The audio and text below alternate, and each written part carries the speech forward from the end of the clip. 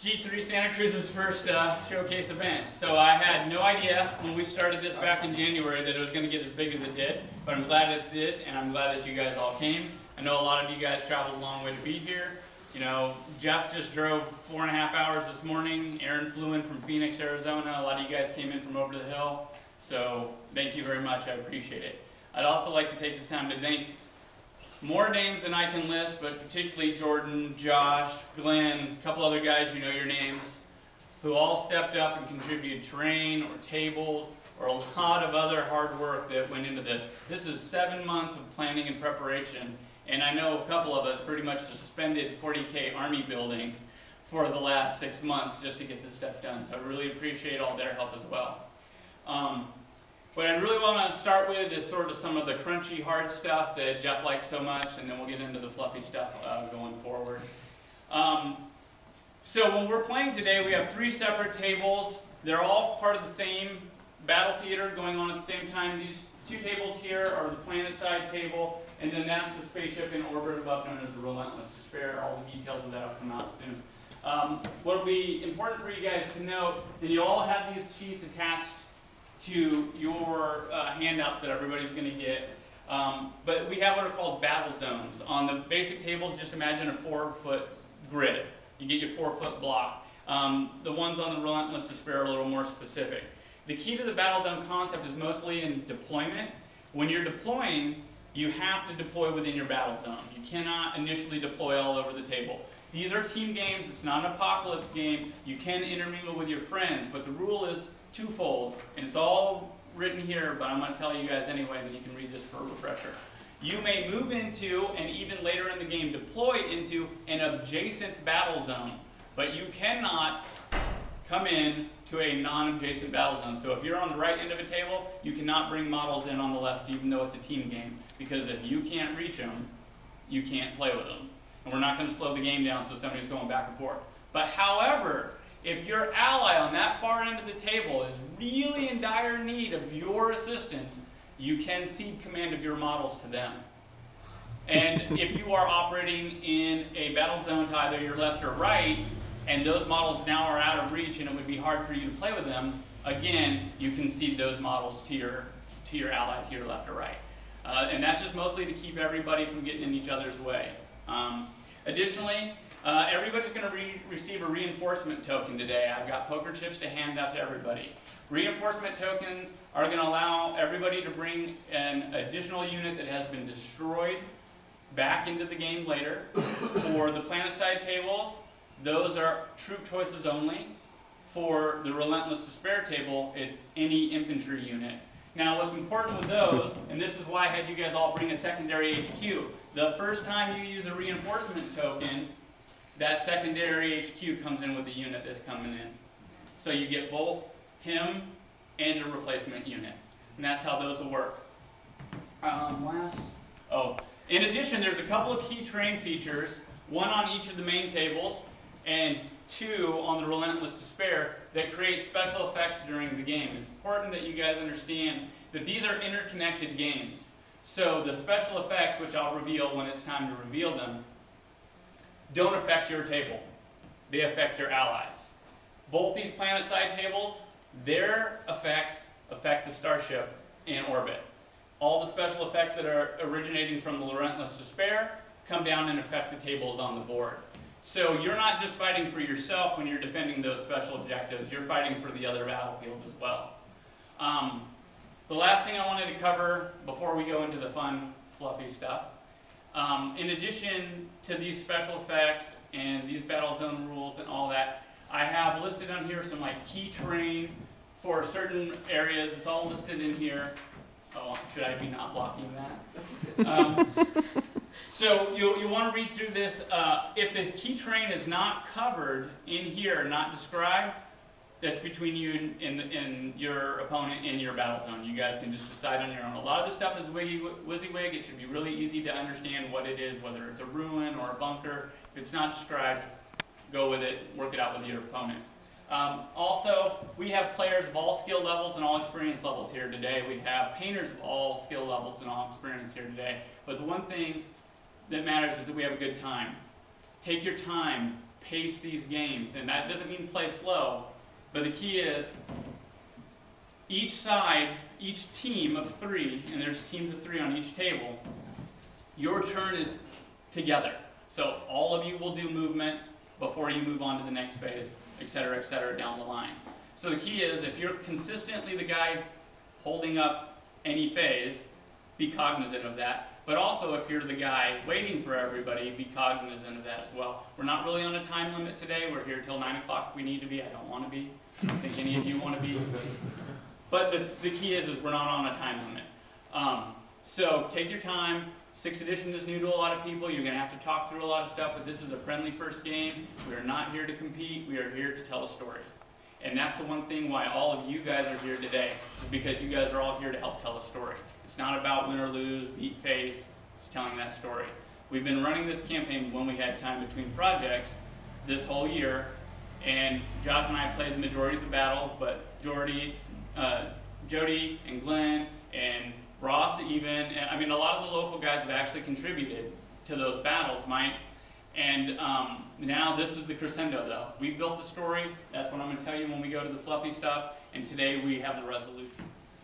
You guys have all seen this. This is what we're playing out today. Next slide. All right, this is where we are at within the galaxy. This is the Gothamos sector. Anthony created the Gothamos sector as a campaign setting for his ongoing narrative campaign that's been going, what, 10 years now? Over 10 years. There you go. So we have segued and branched out on that campaign here for Santa Cruz. That's why G3 Santa Cruz. Overall, it's the Gothamos Gaming Group, but we're the Santa Cruz branch. So within that zone, you have these, that's the sector, these are the subsectors. Chaos is fighting within the Saturn subsector and the Goth March. That is the mainline story that Anthony runs. It's been going for many years. It's a big, hard, broiled war. And we are playing in the Veneto subsector, which is a bunch of sissies that basically don't want to be involved in any of this. Next slide. This is the Veneto subsector. You can see the Mestre system there marked on the map. That's where this is taking place. What happened is there was a large battle on one of the main planets in the Gothmarch subsector, and uh, it's called Calfax, and it was a shrine world, right? Shrine world? Right. And uh, it was completely destroyed by chaos, and it was turned into a demon world. And before it was turned into a demon world, there's a mass exodus of ships fleeing. And when these ships fled, the chaos guys started hounding and pursuing them. The ship, the Relentless Despair, was one of those wolf pack ships. It was badly damaged in a fight with the Dark Angels. It went into warp to get away from things, and just happened to show up here. Pure coincidence, not planned at all. Next slide. Thanks. this is the solar system we're in. Mestre Primaris is the planet we're fighting on, second from the sun. It's nothing but a mining world. It's not a big deal. Next slide. It's smaller than the Earth, but it's all land mass. It's generically a mass strip mining operation. It's a backwater world in a backwater sector that would mean nothing to anyone except for the Adeptus Mechanicus have a secret facility on this base, and when things started to go south, they called in help. Next slide. So this is the Mestre incursion timeline. timeline.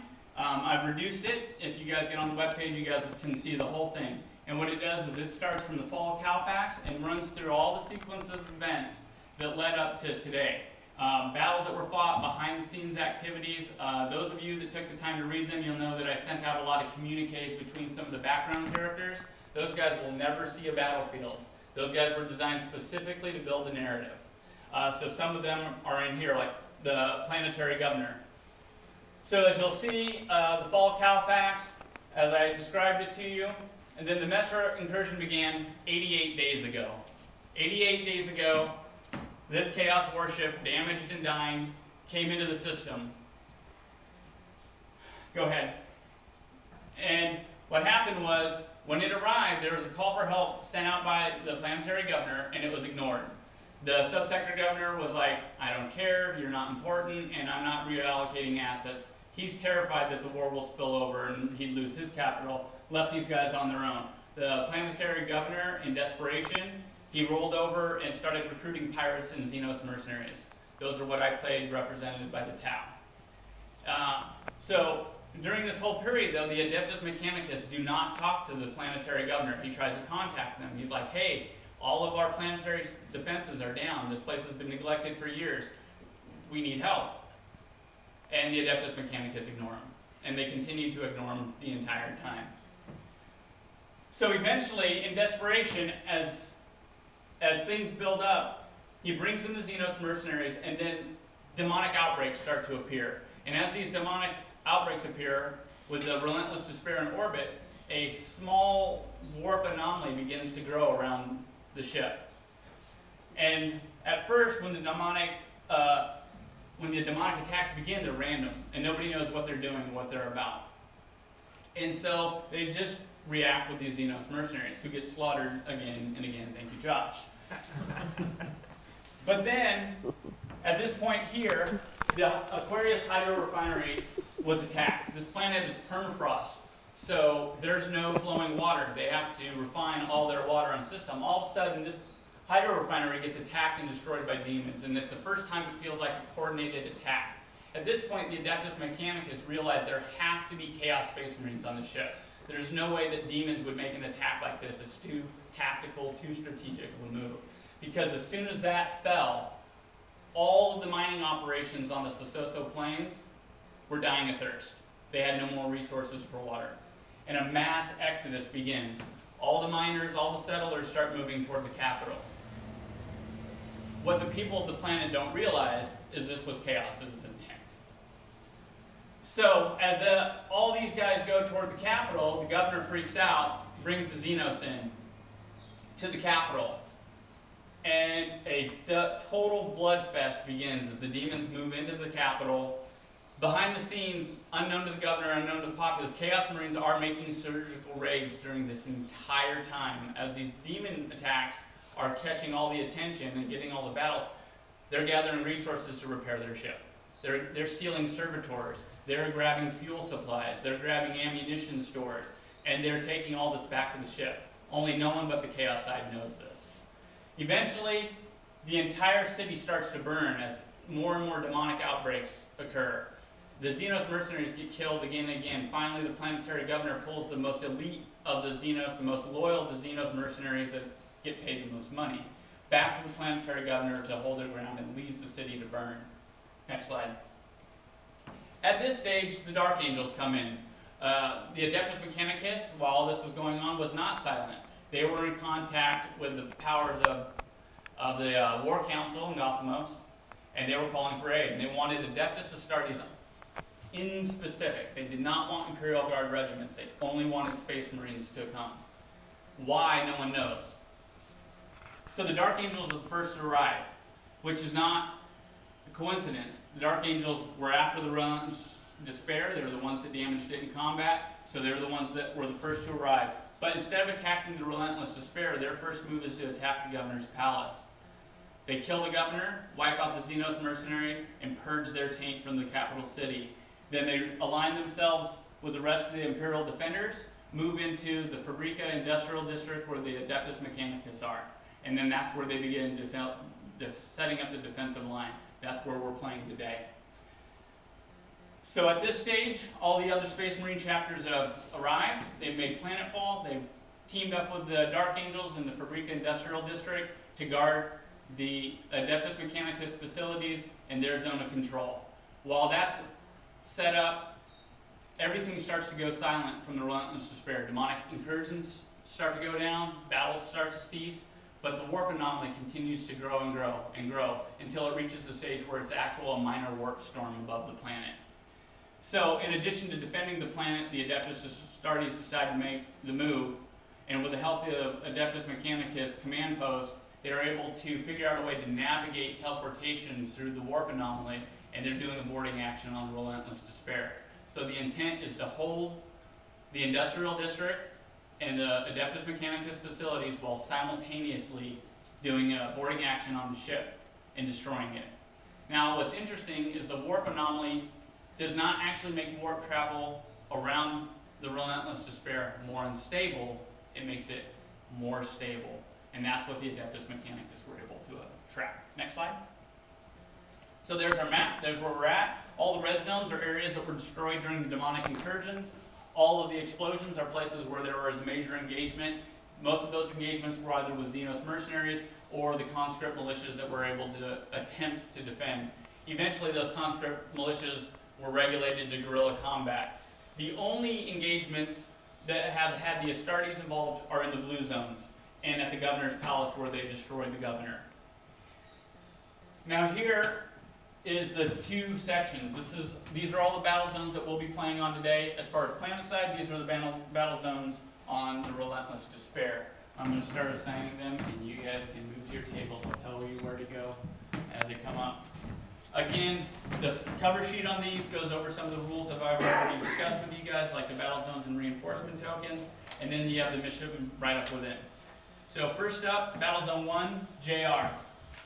Missile Defense Station Zeta 19, down on that end.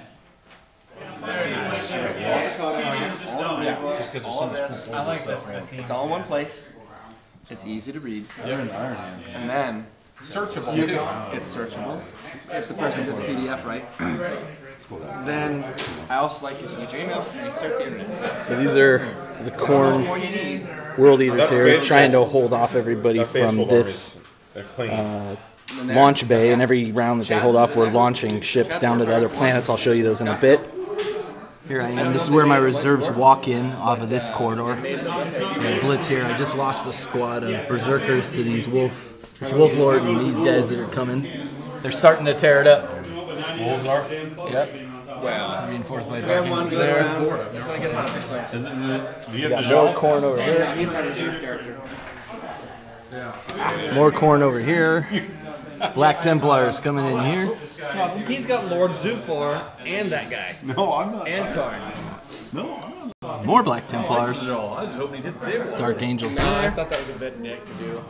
And then here we have our Thousand Suns contingent, our Tzeentch contingent, guarding the the big guns. Done by turn. If he comes in on turn four, then it's turn four. And they're being put under a bit of pressure by these Dark Angels here First, honestly. I want my own wolf. that have come And I wanted to field my out of here. This beautifully painted Cestus Assault Ram. That one's yours, right? And your name is? Mike, Mike. Mike, how long did it take you to paint up the Cestus? far too long. Far too long. I'm painting one up now. That's why I ask. It's a beautiful, beautiful version of it. It looks awesome. Are you having fun yet? I am. It's a great game. It's amazing. The board looks amazing. Speaking of the board, here's Jordan, the maker of the walls, such as this one, which look incredible. Thank you. Can you give us just like a quick overview of how you made them? Yeah, I mean the key was uh, building a master panel and then casting it up. So it's all cast in resin. It's all uh, actually. Well, the, the fronts of the walls no, are cast not- in resin. Resin. They're the. Uh, it's like this super plaster stuff. Oh, really? I used the. I went on the first. For starts, I went on his like molding guides. Are you through that. are you using the dental It's not cement dental stuff. Okay. Someone had recommended. I guess it's like Durham's Rock Hard Water Yep. Buddy. You get at a Yep. hardware store. I went through like three cans of it, but it's Awesome. really cheap. You don't have to buy like 50 pounds of dental stone. So Yeah, I have actually a it was bunch a of that lot of casting. I mean, I, Some beautifully painted Tzeentch stuff here. Hopefully they can hold out quite a bit longer while the uh, servitors here continue to fire the guns. Absolutely awesome looking board. Let's go take a look at some of the other boards and what's going on there. So over here we have part of the planet. What part of the planet is this, JR? You don't even know what part of the planet you're defending? That's why you're losing. Okay. I, I'm looking at you with a camera in my face. No, this is the uh, missile defense battery. The missile defense battery. And does this mean you've launched one missile so far? Um, well, no, every turn I control this with uh, troops, missiles go up to the ship. Okay, that's what hit us. blasts up there on your port. Right, and those uh, those blasts on our ship act as kind of the uh, Zone Mortalis. Um, what do you call it, Jeff? Yeah, the board effects, kind of Oh, from yeah. Imperial Armor Nine. And then your guys, since Matt's been controlling the cannons, an orb, uh, basically Earthshaker cannon orbital bombardment comes Nice. down and hits on us. Oh, nice. I, I, w- killed a whole, almost a whole Crusader. I wasn't aware that that was going on. Okay, over here we have Iron Warriors, which are just awesome looking. I see why Jeff wants to do Iron Warriors, They're a great army. and in particular, it's nicely kitted out. His defilers are fantastic. That's his. That's what's acting as his defiler. That's his defiler. Yeah, his defilers. And here we have Black Templars.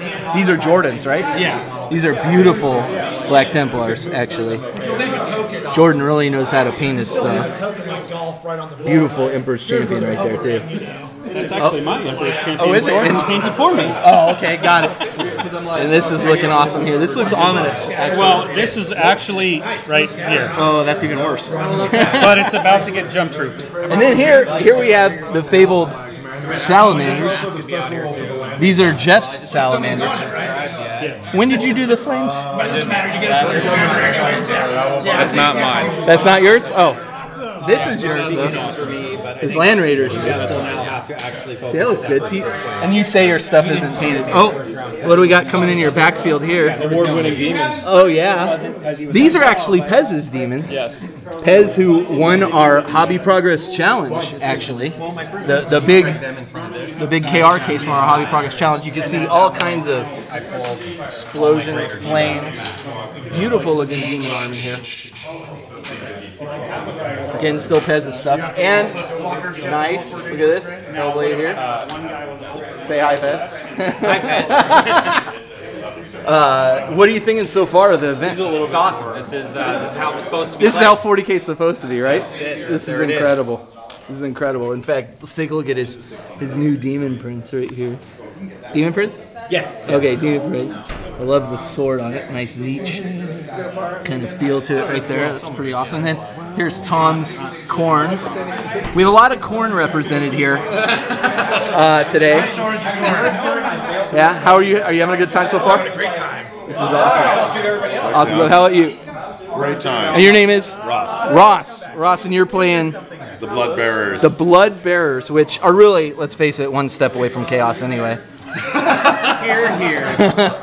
You, should mean, just You mean the oldest and most loyal of all the Space Marines? That's what I heard. you should just join the winning team right now. I'm just saying. Yes, I'm on the winning team. Exactly. I agree. Awesome looking, actually old uh, uh, model here that's turned into a uh, Baal predator, right? Baal Yeah, predator. yeah, that's the old school one. It's pretty awesome looking.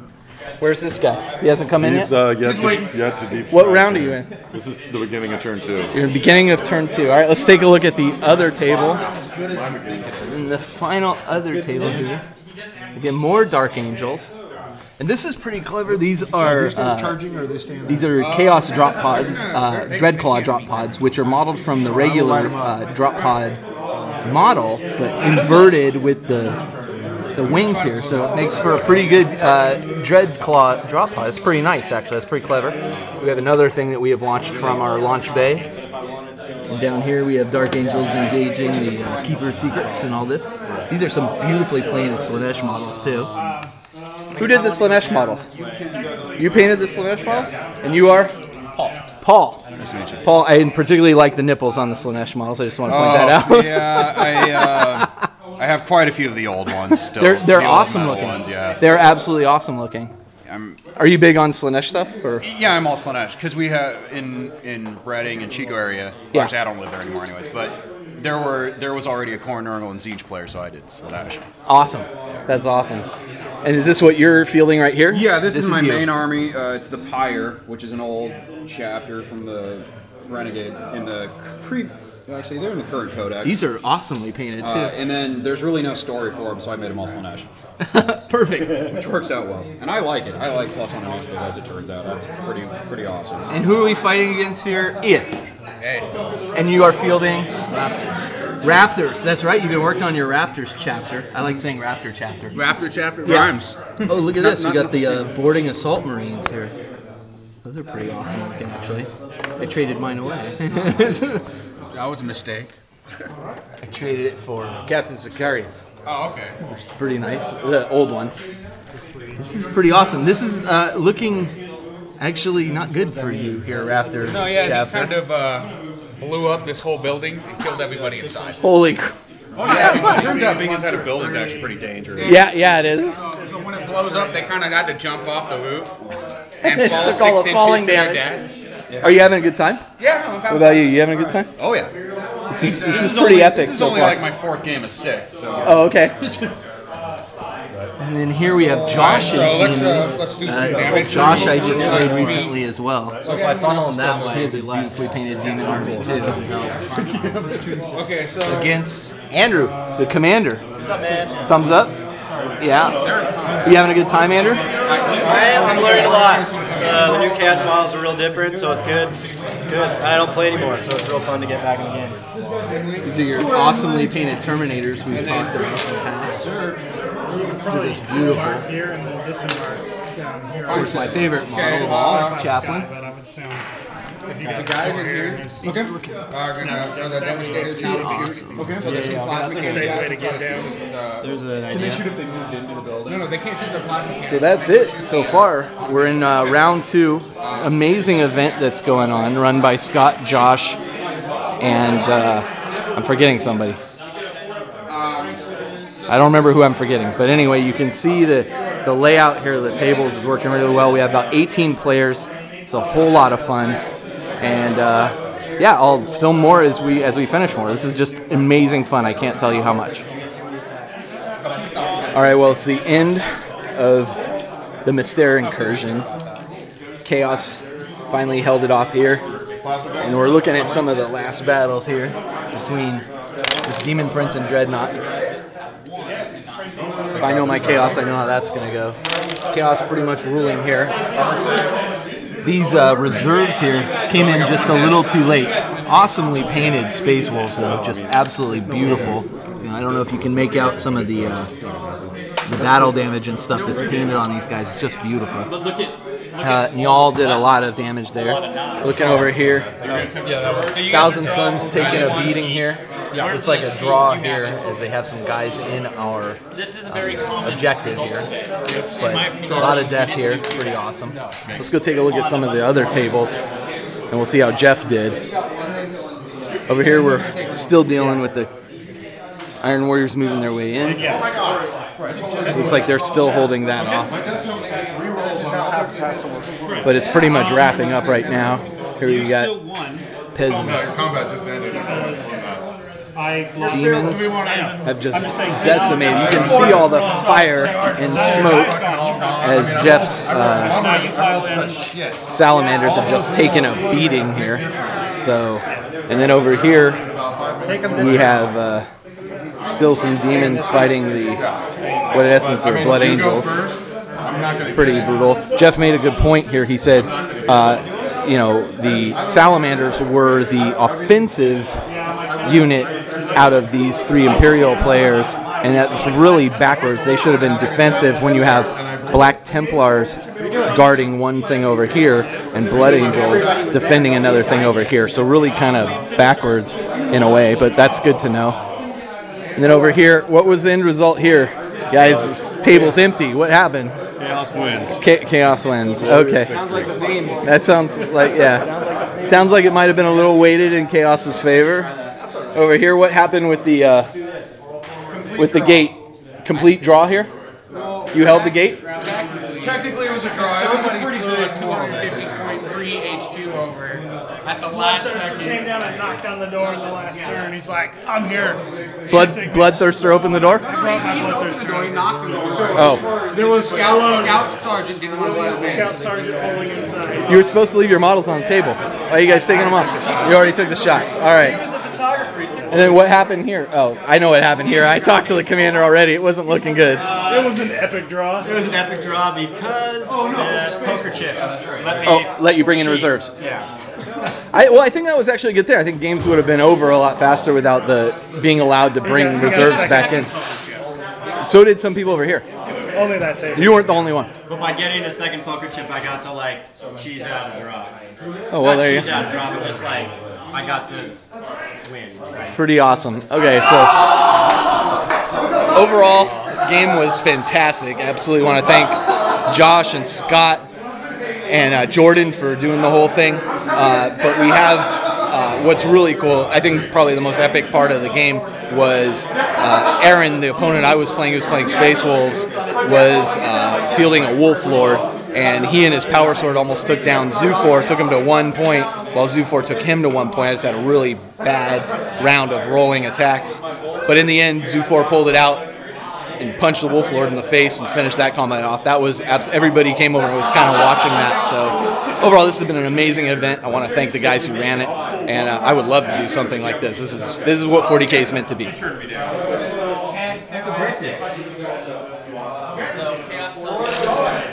Let's take a quick look and see how this winds up. Oh, I see a missing dreadnought, which is He not. exploded and took out some cultists' blood sacrifices. This is not to be unexpected, though.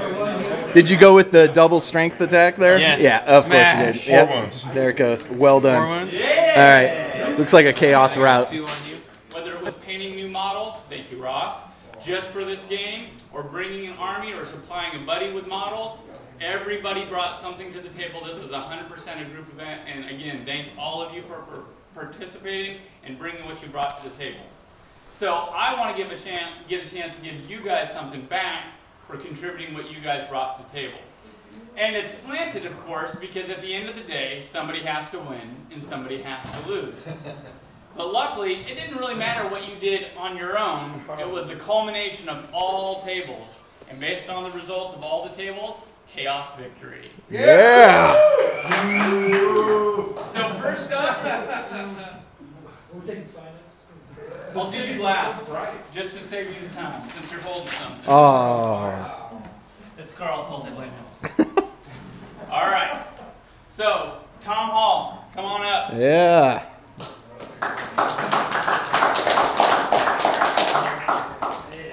You are officially a champion of chaos, and there's your Oh, nice. dog tag. Yeah. All right, Josh Sawyer, get on up here. Can you hold this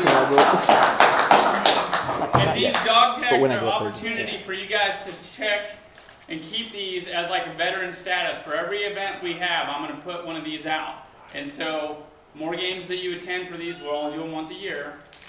Then you guys can collect these dog tags to show your guys' veteran status at our events. Nice.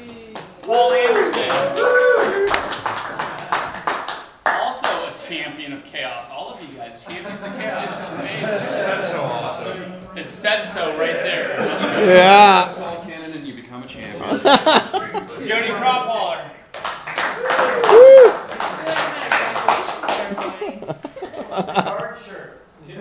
Crophaller. Yeah, it was the last moment. Jeff Last Minute Price.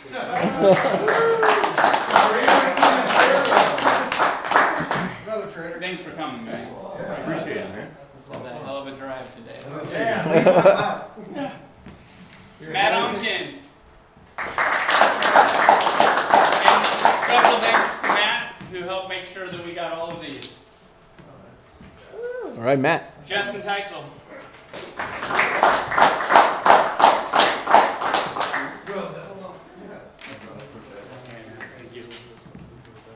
Anthony Hanner. Yeah. Yeah. This is all your fault because if I had it my way, this would have been an Oracle War next year. next. And Carl, this is for you.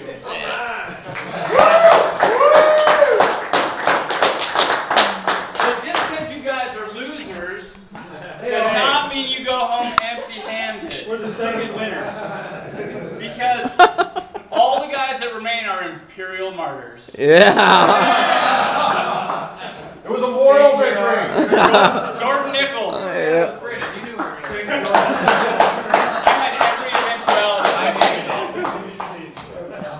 Imperial martyr. Yeah. A martyr if I've ever seen one.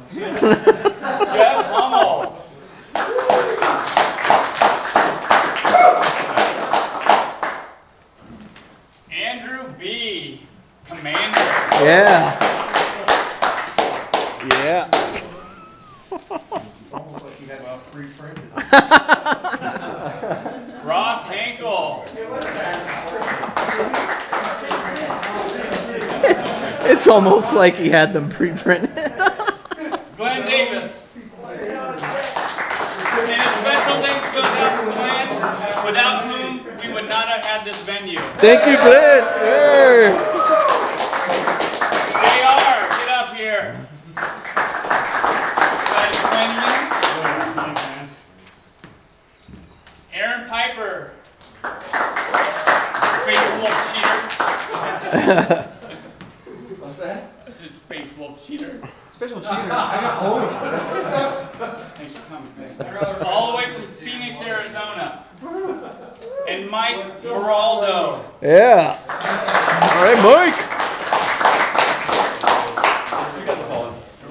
Yeah, oh yes. So behind the scenes, though though the Imperials lost, the Dark Angels got what they were really here for, which was the fallen Contemptor Dread on board the Relentless Despair. So loss for the Imperials, win for the Dark Angels. But you guys don't know that. It's a secret. I feel about that. hey, again, thanks everybody, and uh, I hope to be doing something almost like this next year. So it's What? Not next month? Yeah. But, but going forward, so you guys know, we're rolling in after this. Chaos is out the door. That's Anthony's ballpark. It's all you, brother. Uh, we're rolling into our Xenos campaign, and from here on out, uh, the storyline for GC, G3 Santa Cruz is a Orc Law and uh, some shenanigans with the Necrons in the background. So it'll be the Xenos front of the War on Gothamos. And Chaos is all you, Anthony. Thanks again, everyone.